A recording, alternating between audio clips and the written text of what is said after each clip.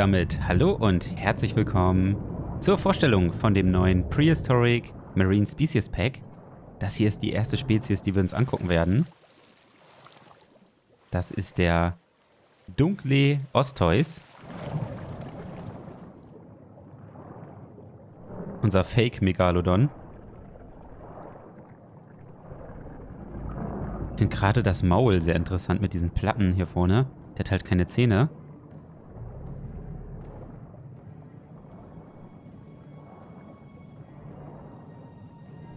Skins gibt es da auch wieder viele. Die werden wir uns gleich nochmal im Species View genauer angucken.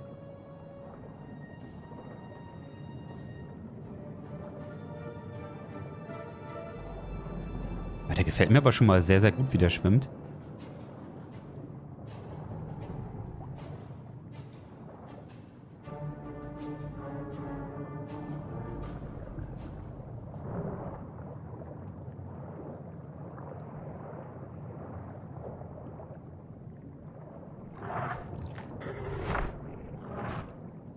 Das war die Sozialisieren-Animation. Versucht den so hinten in die Rückenflosse zu beißen.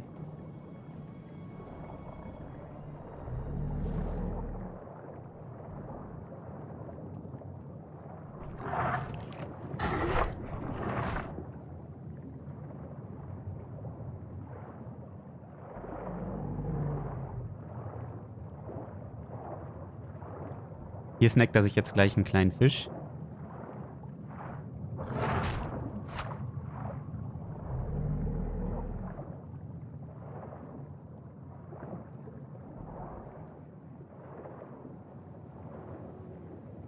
Jetzt dürfen wir gleich sehen, wie er den Highfeeder benutzt.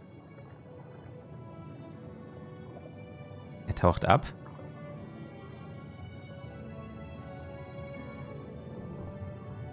Nimmt Anlauf. Und mit Vollspeed springt er dann raus.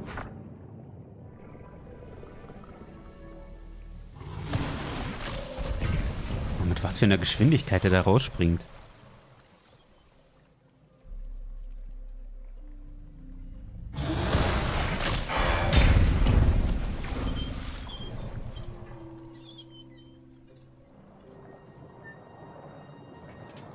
Jetzt gucken wir uns auch noch ein paar Kill- und Kampfanimationen von ihm an.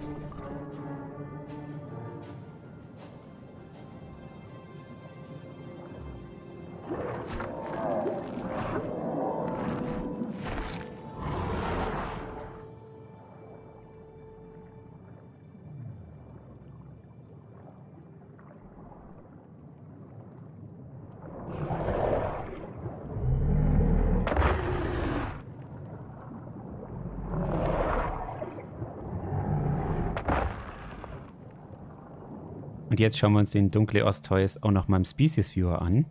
Da können wir dann noch mal die ganzen Farben durchgehen. Es sind auch wieder viele Farbkombinationen, die hier möglich sind.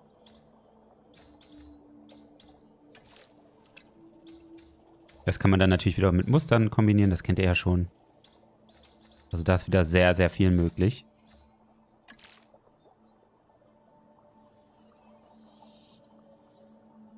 Der sieht schon echt gut aus.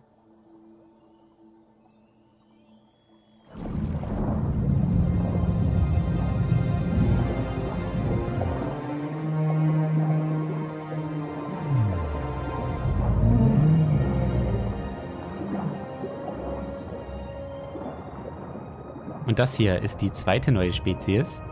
Eine riesige Urzeitschildkröte. Der Archelon.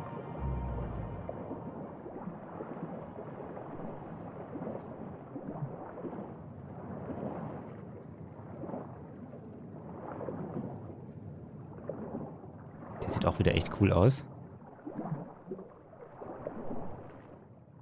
Die Schwimmbewegung sieht auch super aus.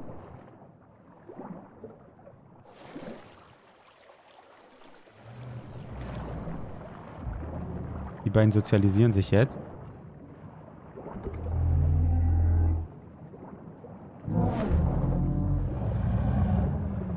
Ah, okay, die schwimmen so aneinander vorbei.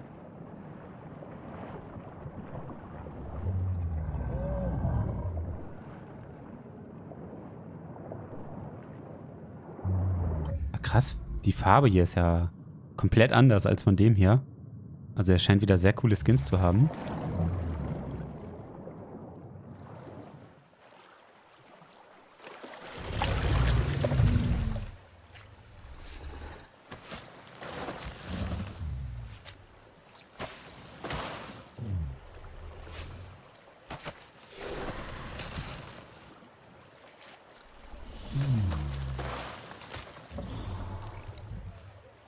Das ist echt cool. Die Besucher können die dann wirklich gut beobachten von da vorne. Das kann man auch frei im Gehege platzieren, diesen Felsen. Da können halt mehrere dann draufklettern. Leider ist jetzt gerade nur eine da. Den findet ihr übrigens hier unter Umgebung und dann bei den Felsen. Dann könnt ihr den einfach platzieren in der Lagune. Und da klettern sie jetzt alle drauf. Wie schön.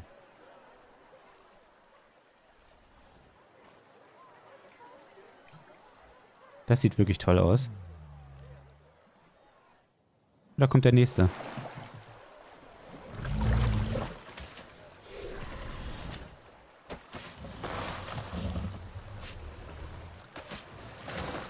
Wie schöne Farben die auch haben.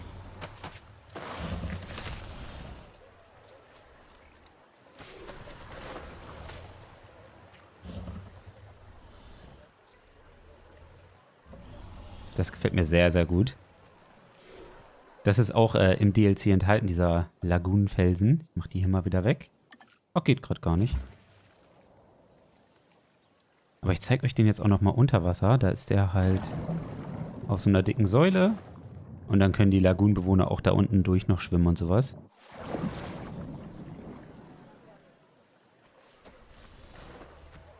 Die bleiben auch komplett unterschiedlich lang auf diesen Felsen sitzen. Das finde ich auch sehr gut, weil der hier sitzt schon echt lange da. Und der geht jetzt schon wieder rein ins Wasser.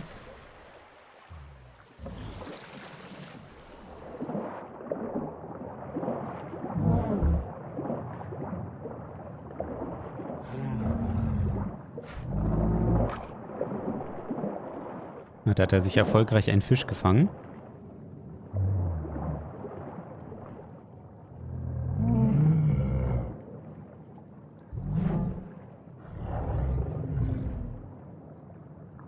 Die schwimmen so ein bisschen gegeneinander bei dieser sozialisieren Animation.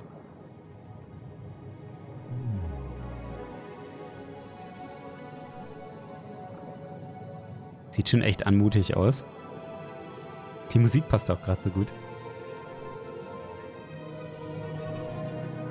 Der ist übrigens größer, als man denkt.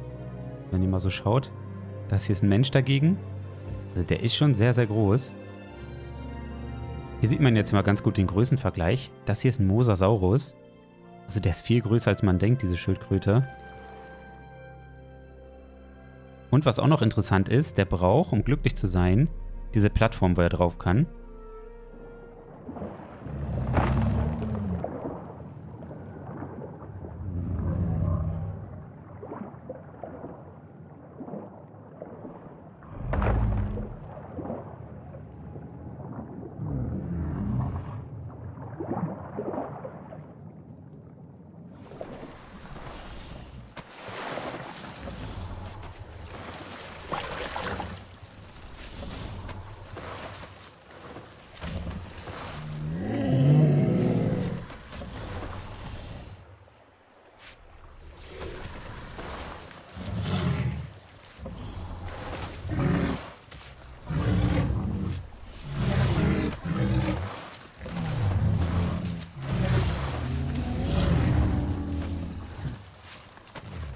Ja, im Species Field Guide dachte man, das wäre eine süße Animation, aber die streiten sich einfach um den Platz.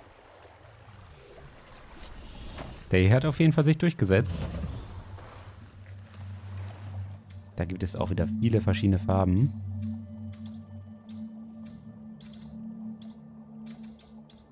Machen wir jetzt so einen blauen. Und auch Muster wieder. Da hat man dann wieder viele Kombinationsmöglichkeiten.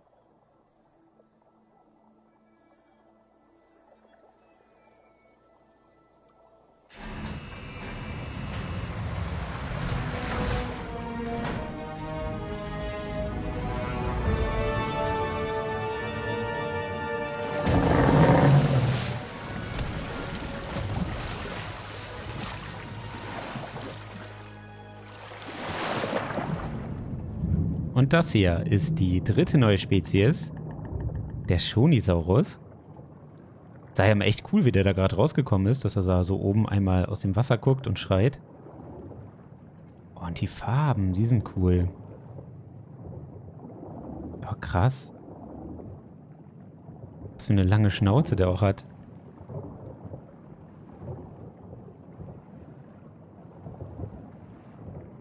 Den finde ich optisch echt gut. Da bin ich nachher mal auf die Skins gespannt im Species Viewer. Die beiden Skins hier gefallen mir schon richtig, richtig gut.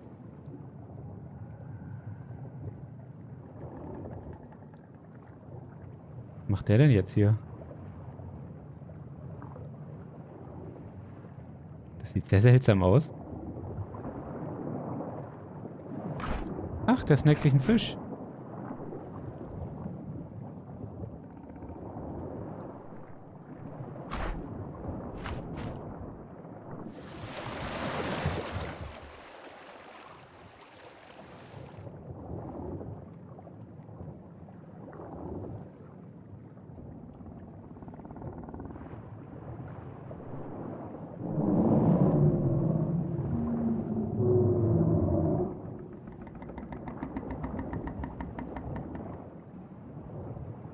War die Sozialisieren-Animation.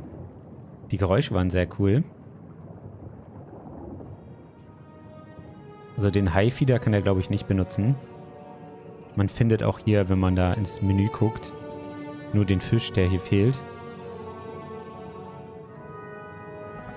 So gehe ich einfach mal davon aus, dass der da halt nicht rangeht. Er hat es bis jetzt auch nicht gemacht.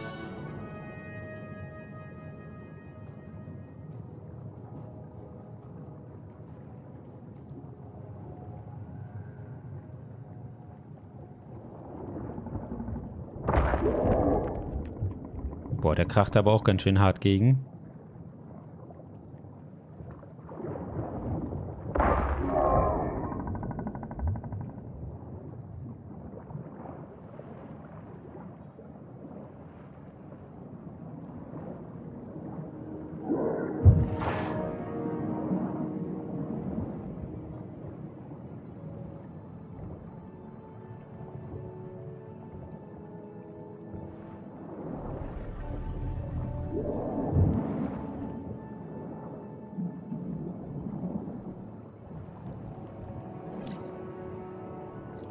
Und bei dem Shonisaurus freue ich mich natürlich besonders über den Species Viewer.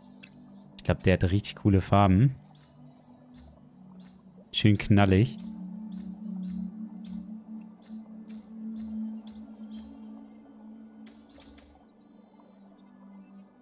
Ah, krass. Aber das hier gefällt mir am besten, muss ich sagen, das Blau. Dann gibt es auch noch natürlich verschiedene Muster, die auch echt gut aussehen. Also da kann man wieder super kombinieren.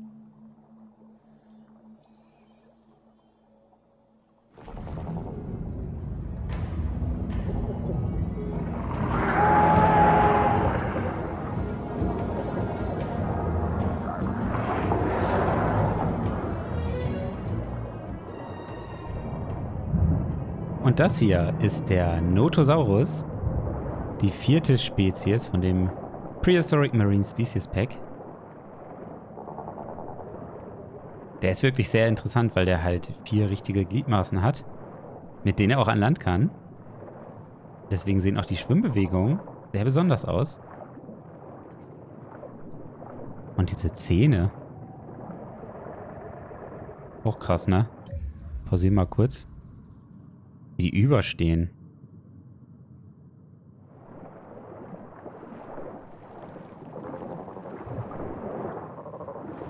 Oha, wie krass sozialisiert der sich denn?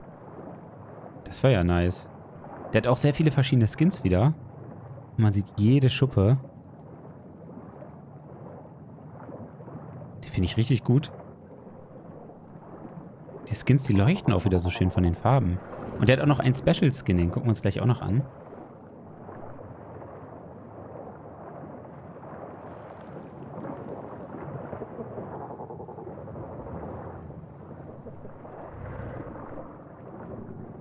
Und auch dieser kann, wie gesagt, an Land gehen.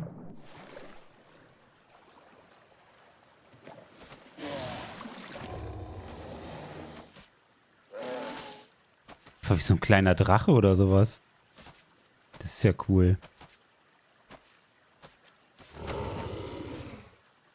Dann legt er sich dahin. Ich glaube, das ist mein Favorit. Wie finde ich das gerade ziemlich cool, muss ich sagen. Aber der ist ganz schön klein, ne? Also wenn man so die Schildkröten da zum Vergleich vorhin hatte, auf dem Felsen. Unter Wasser sieht man das halt immer nicht so.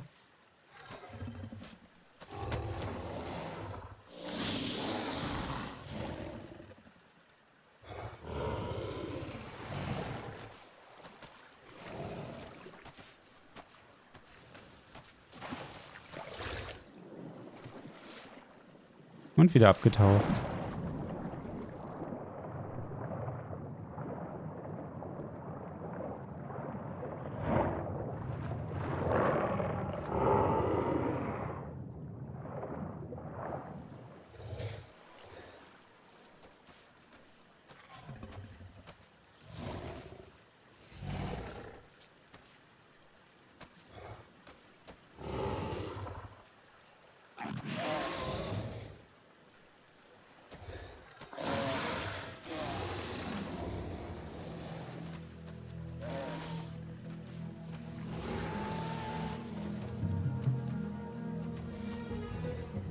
Oh, die können sich sogar hier oben schlafen legen.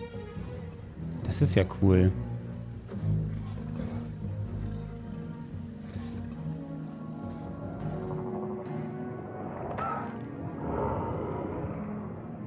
Oh, wie der quietscht, wenn er dagegen rammt. Voll brutal. Es gibt auch noch einen besonderen Skin von dem Notosaurus, nämlich den Notosaurus 2022. Habe ich schon mal vorbereitet für uns natürlich.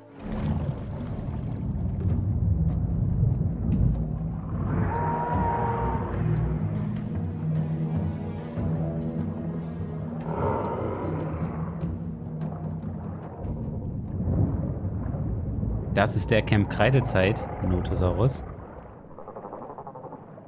Und es gibt sogar noch eine Besonderheit bei den Skins. Da können wir mal ganz kurz hier in die Umgebung wechseln und auf Nacht stellen. Denn einige von denen können leuchten. Ich weiß gar nicht, welche das genau sind, das müsstet ihr ausprobieren. Aber es gibt diese Skins.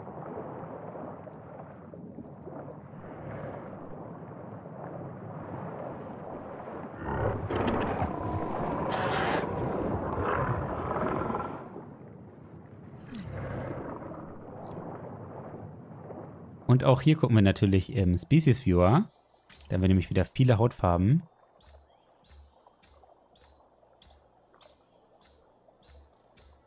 Eigentlich fast alles, was das Herz begehrt, ne?